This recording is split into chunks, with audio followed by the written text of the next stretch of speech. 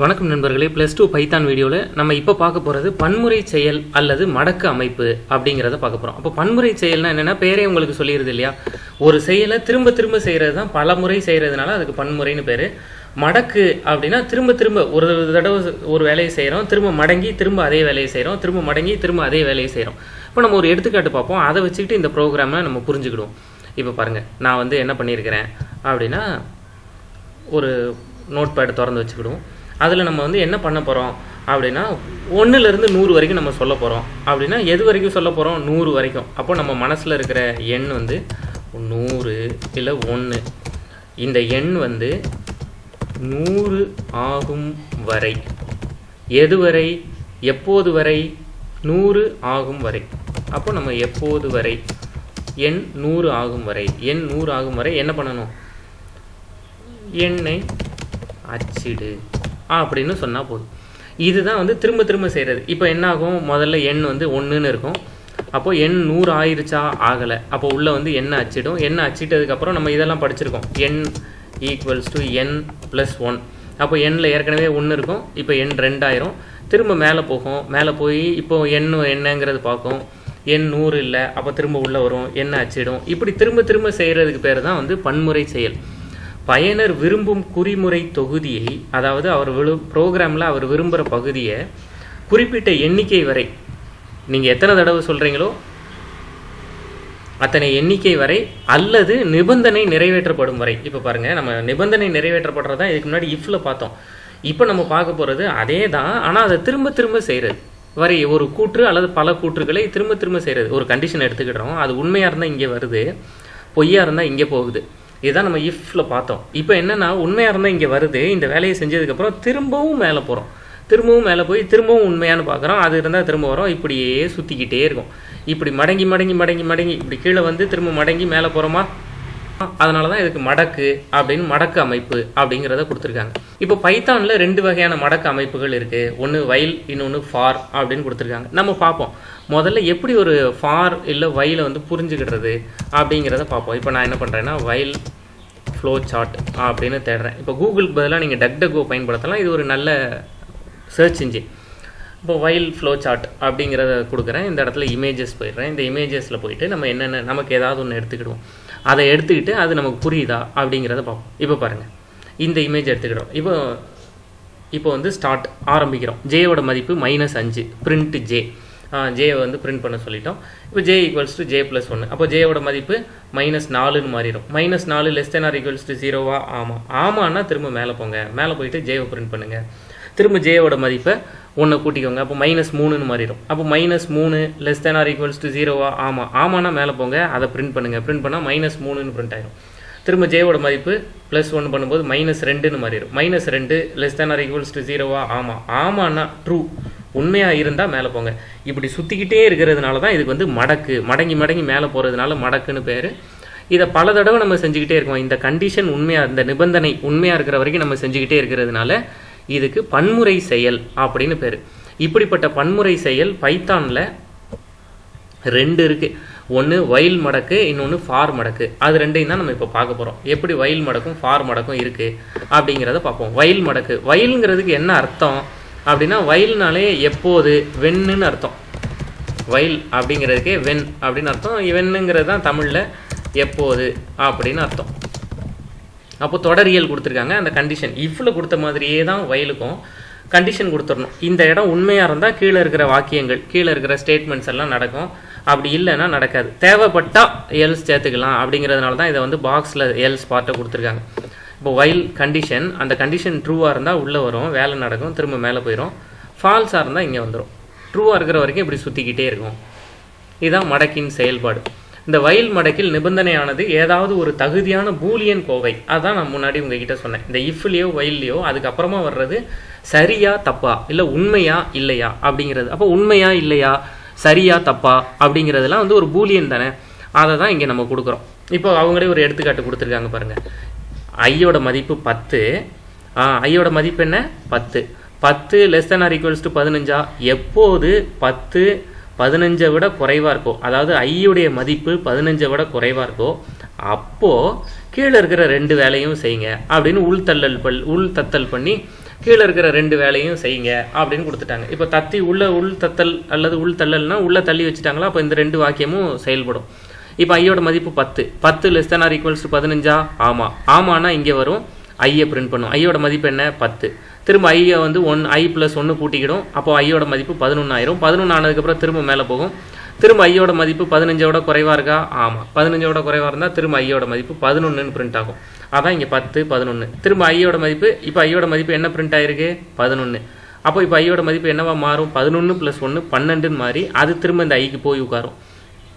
அதானே இது வந்து இந்த பக்கம் உள்ள வலது பக்கம் உள்ள மதிப்பை இடது பக்கம் பொறுத்துறதுக்கான ஈக்குவல்ஸ் டு சிம்பிள் திரும்ப மேலே போகிறோம் ஐயோட மதிப்பு பன்னெண்டு. பன்னெண்டு less than R equals to பதினஞ்சு. ஆமாம் உள்ளே வரும். உள்ளே வந்து பன்னெண்டுன்னு பிரிண்ட் ஆகும். இப்படியே வந்து பதினஞ்சு less than or equals to கொடுத்துருக்கிறதுனால பதினஞ்சுன்னு பிரிண்ட் ஆகும். அப்போது ஒரு லூப்பிங் இந்த மடக்கு கூற்று அல்லது பன்முறை செயல்பாட்டில் என்னென்னலாம் முக்கியம்னா தொடக்க மதிப்பு இனிஷியல் வேல்யூ ரொம்ப முக்கியம். கண்டிஷன் நிபந்தனை என்னங்கிறது முக்கியம். இது முக்கியம். இந்த மூணும் தான் ரொம்ப முக்கியம். இதில் எக்ஸ்ட்ராவாக இவங்க பிரிண்ட்டில் வந்து எண்டு பயன்படுத்தியிருக்காங்க. எண்டுன்னு கொடுத்துட்டு என்னென்னா ஐயை பிரிண்ட் பண்ணினதுக்கு அப்புறமா எண்டில் ஸ்லாஷ் டி இதை நம்ம படிச்சிருக்கோம். Slash T slash N slash R இதெல்லாம் இதுக்கு முன்னாடி வீடியோஸ்லேயே நம்ம படிச்சிருக்கோம். ஸ்லாஷ் டி கொடுத்தா ஒரு டேப் ஸ்பேஸ் வரும். அதனால தான் பத்துக்கு அப்புறம் இவ்வளோ ஸ்பேஸ் விட்டு பதினொன்று அதுக்கப்புறம் இவ்வளோ ஸ்பேஸ் விட்டு பன்னெண்டு அப்படின்னு வந்திருக்கு. இந்த மாதிரி இதுலேயே மேலே கொடுத்துருப்பாங்க. இல்லைன்னா நமக்கு ஒருவேளை இது முடிஞ்சதுக்கப்புறம் என்ன வேணும்னாலும் எல்ஸ் வேணும்னா பயன்படுத்திக்கிடலாம். நம்ம அதையும் பார்க்கலாம். கீழே போயிட்டு. இவங்க அதுக்கான விளக்கங்கள்லாம் கொடுத்துருக்காங்க. இந்த ப்ரோக்ராமை நம்மளே டைப் பண்ணி பார்க்கலாம். இந்த கொடுத்துருக்காங்களா? குறிப்பு. பிரிண்ட் கூற்று எண்ட் மற்றும் செப் அளவுருக்களை கொண்டிருக்கும். செப்னா செப்பரேட் செப்பரேட்னா தனியாக பிரித்து வைக்கிறது. செப் அப்படின்னா செப்பரேட் பண்ணுறது தனியாக பிரித்து வைக்கிறது அப்படிங்கிறதுனால. இந்த ஸ்லாஷ் டி தத்தல் ஸ்லாஷ் என் புதிய வரி இதெல்லாம் நம்ம பயன்படுத்திக்கலாம். அப்போ செப்பரேட் வந்து எதுக்குங்க அப்படின்னா எண்டுனா வந்து இந்த ஸ்லாஷ் டி ஸ்லாஷ் என்ன பயன்படுத்திக்கலாம். செப்பரேட்டுங்கிறது ஒவ்வொன்றும் பிரிண்ட் ஆனதுக்கப்புறம் இப்போ உதாரணத்துக்கு ஒரு கே கேலண்டர் தேதி நம்ம வந்து டைப் பண்ணுறோம்னு வச்சுப்போமே அப்படி டைப் பண்ணணும்னா இப்போ நான் வந்து பிரிண்ட் பிரிண்ட் அப்படின்னு கொடுத்துட்டு நமக்கு என்னென்ன மதிப்பெல்லாம் வேணுமோ அந்த மதிப்பெல்லாம் இந்த கொடுத்துருக்காங்களா? செப் ஈக்குவல்ஸ் டு ஸ்பேஸ் கொடுக்கணுமா?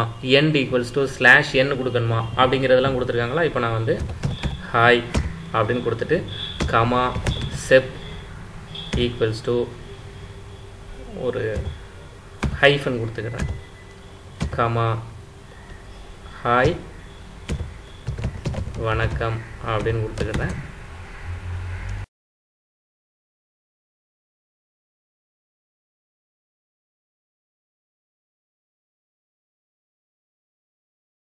ஹாய் வணக்கம் அப்படிங்கிற இடத்துல இந்த இடத்துல எனக்கு ஒரு ஹைஃபன் வந்துருச்சா அதுதான் இந்த செப் செப்பரேட் பண்ணுறது ஹாய்க்கும் வணக்கம்க்கும் இடையில ஒரு ஹைஃபன் கொடுக்கணும்னா நம்ம கொடுத்துக்கிடலாம்.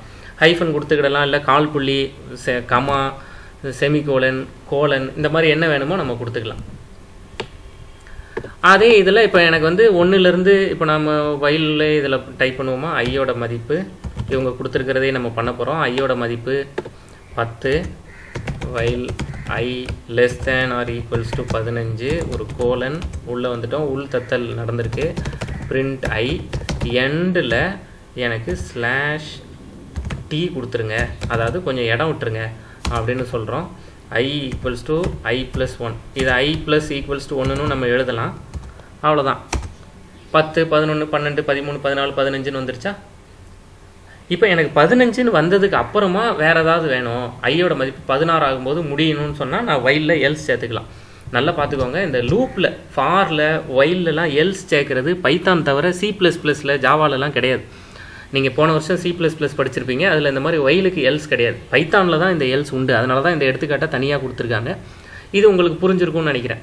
அதே மாதிரி நீங்கள் சி ப்ளஸ் ப்ளஸில் டூ வைல் படிச்சிருப்பீங்க. அது பைத்தானில் கிடையாது. பைத்தானில் வந்து மடக்கு வந்து ரெண்டு தான். ஒன்று வைல் இன்னொன்று ஃபார் அடுத்து ஃபார் என்னங்கிறத பார்ப்போம்.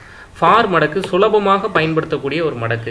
இதே தான் நீங்கள் வயலில் எழுதும்போது மூணையும் ஒரே வரியில் எழுதணும் இல்லையா? மூணையும் தனித்தனியாக இப்படி எண் ஒன்று நூறு ஆகும் வரை இப்படி எழுதணும்ல. இப்போ ஐயோட மதிப்பு ஒன்று.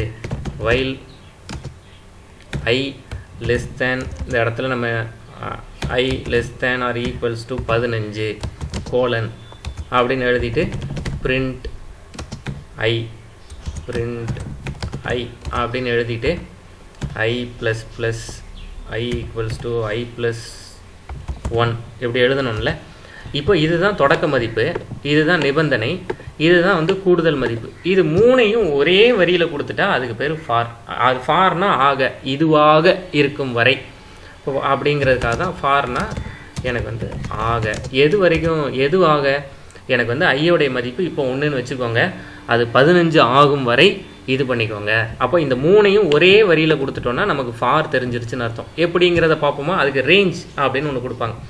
சுலபமாக பயன்படுத்தக்கூடிய ஒரு மடக்கு ஃபார் மடக்கு. இது ஒரு நுழைவு சோதிப்பு. அதாவது உள்ளே நுழையும் போதே இந்த கண்டிஷன் கரெக்டாக இருக்கா? அப்படிங்கிறத பார்த்துரும் இது ஒரு நுழைவு சோதிப்பு மடக்காகும். நிபந்தனை முதலிலேயே சோதிக்கப்பட்டு சரி எனில் உள்ளே வந்து வேலை நடக்கும். இல்லைன்னா வேலை நடக்காது அப்படிங்கிறத கொடுத்துருக்காங்க. இந்த சி ப்ளஸ் ப்ளஸில் உள்ள ஃபார் மடக்கில் பயன்படுத்தப்படுறது மாதிரியே தான் இதுவும். அப்படிங்கிறத கொடுத்துருக்காங்க. இதுக்கு ரேஞ்ச் அப்படின்னு ஒன்று பயன்படுத்துவாங்க. எப்படிங்கிறத பார்ப்போம். ரேஞ்சின் தொடர் எல்லாம் கொடுத்துருக்காங்களா? இப்போ பாருங்கள் ஸ்டார்ட் தொடக்க மதிப்பு ஸ்டாப் இறுதி மதிப்பு ஸ்டெப் மிகுப்பு மதிப்பு. ஒவ்வொரு ஸ்டெப்லேயும் எவ்வளோ மதிப்பு கூடணும் அப்படிங்கிறது இது வந்து விருப்ப பகுதி. இதை கட்டாயம் கொடுக்கணும்னு கட்டாயம் கிடையாது. இப்போ ரேஞ்ச் வந்து ஒன்றுலேருந்து முப்பது வரைக்கும் அதாவது ஒன்றுலேருந்து முப்பதுன்னு கொடுத்தீங்கன்னா முப்பது வரைக்கும் போகாது இருபத்தொம்போது வரைக்கும் போகும்.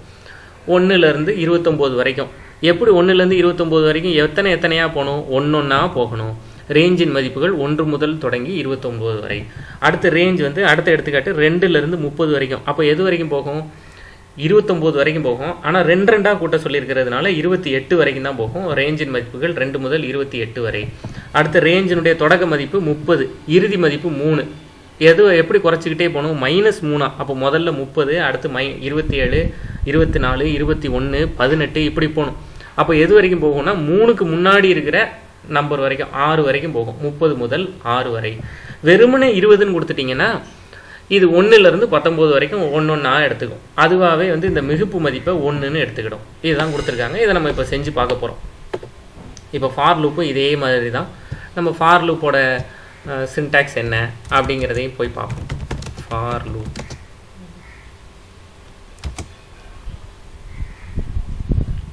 இமேஜஸ் என்ன அப்படிங்கிறத போய் பார்ப்போம். ஃபார் லூப் அதே கதை தான் நமக்கு. முதல்ல தொடக்க மதிப்பு கண்டிஷன் என்ன வேலை நடக்குது இன்க்ரிமெண்ட் ஆகுது திரும்ப போகிறோம் இதே தான் ஃபார் லூப்புக்கும் இனிஷியலைஸ் கண்டிஷன் இன்க்ரிமெண்ட் அது இன்க்ரிமெண்ட்டாக இருக்கலாம் அல்லது டிக்ரிமெண்ட்டாக இருக்கலாம். இது சி ப்ளஸ் ப்ளஸ்க்கு கொடுத்துருக்காங்க. இதே மாதிரி நம்ம ஃபார் லூப் பைத்தான்னு கொடுத்து கூட தேடிக்கலாம். ஃபார் லூப் பைத்தான் அப்படின்னு தேடுறேன் அதுக்கு என்னென்ன படங்கள்லாம் கொடுத்துருக்காங்க அப்படிங்கிறதெல்லாம் நம்ம பார்த்துக்கலாம். இப்போ ஃபார் லூப்புக்கு எடுத்துக்காட்டு கொடுத்துருக்காங்க. இதை நம்ம செஞ்சு பார்க்கலாம். ஃபார் லூப்பில் தான் ரேஞ்சுன்னு ஒன்று பயன்படுத்துகிறாங்க ஃபார் ஐ இன் ரேஞ்ச் ரேஞ்சினுடைய தொடக்க மதிப்பு என்ன? நான் வந்து ஒன்றுன்னு கொடுக்குறேன். இறுதி மதிப்பு நூறு. ரெண்டு ரெண்டாக கூட்டிக்கிட்டே போங்க அப்படின்னு சொல்லிடுறேன் சின்டாக்ஸ் நம்ம வந்து ஐ இன் ரேஞ்ச் ஒன்று நூறு ரெண்டு கோலன் அதுதான் சின்டாக்ஸ் எரர் காமிக்குது. உள்தள்ளல் நடந்திருக்கு. பிரிண்ட் ஐ எனக்கு வந்து இப்படி எனக்கு அடுத்தடுத்த எண்களாக கிடச்சிருச்சு அப்படிங்கிறதுனால அந்த கோலன் நம்ம பயன்படுத்த வேண்டிய தேவையில்லை. நான் இதில் செப்பரேட் பண்ணுறதுக்கு பதிலாக இவங்க கொடுத்துருக்கிற மாதிரியே எண்டு கொடுத்து நான் கொடுக்கணுனாலும் எனக்கு ஸ்பேஸ் விட்டு கிடைக்கணுனாலும் அப்படி கிடச்சிரும். இதுதான் ரேஞ்ச் இப்போ நம்ம ரேஞ்ச் என்ன கொடுத்துருந்தோம்?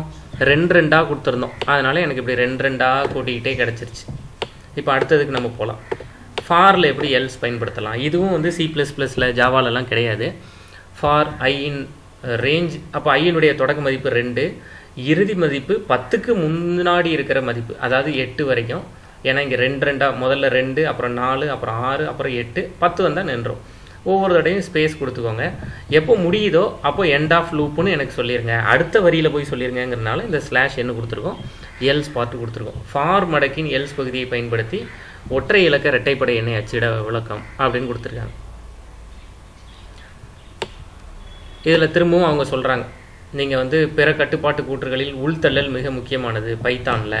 சி சி ப்ளஸ் ப்ளஸ்லலாம் வந்து நீங்கள் வந்து நெறிவு அடைப்புக்குறி இந்த ஃப்ளவர் பிரேசஸ் பயன்படுத்தியிருப்போம். இங்கே ஃப்ளவர் பிரேசஸ் கிடையாது. அதுக்கு பதிலாக தான் இந்த உள்தள்ளல் அதை திரும்பவும் சொல்லியிருக்காங்க. இப்போ ஒன்று முதல் நூறு வரையிலான எண்களின் கூட்டுத்தொகை. அப்போ மொத்தம் எத்தனை எண்கள்? அதுதான் எண்ணுன்னு வச்சுக்கிட்டாங்க. நூறு. அப்போ முதல்ல எத்தனை எண்களை நம்ம இது வரைக்கும் கூட்டியிருக்கிறோம்? ஒரு எண்ணை கூட கூட்டலை. அதனால் சம் வந்து முதல்ல சுழி ஜீரோ அப்போ ஒன்று நான் கூட்டிக்கிட்டே போகிறோம் எது வரைக்கும் கூட்டிக்கிட்டே போகணும்? நூறு வரைக்கும். ஃபார் கவுண்டர்னு ஒரு வேரியபிள் வச்சுக்கிட்டாங்க. இன் ரேஞ்ச் ஒன்றுலேருந்து நூறு ப்ளஸ் ஒன்று ஏன்னா நூறுன்னு கொடுத்தா தொண்ணூத்தொம்பது வரைக்கும் தான் வரும். அதனால் நூற்றி ஒன்று உள்ளே வந்ததுக்கப்புறம் அப்போ கவுண்டருடைய தொடக்க மதிப்பு முதல்ல ஒன்றுன்னு இருக்கும். சம் ஈக்குவல்ஸ் டு சம் சம்முடைய மதிப்பு ஜீரோ ப்ளஸ் கவுண்டர் ஒன்று அப்படியே இது சுற்றிக்கிட்டே இருக்கும். கடைசியாக நமக்கு என்ன கிடைக்கும்னா முதல் நூறு எண்களின் கூட்டுத்தொகை ஐயாயிரத்தி ஐம்பது அப்படின்னு கிடச்சிரும் இப்படி. இதை நம்ம செஞ்சு பார்க்கலாம். இதுதான் வந்து ஃபார் லூப் இப்போ ரெண்டு மடக்கைகளும் நம்ம பார்த்துட்டோம்.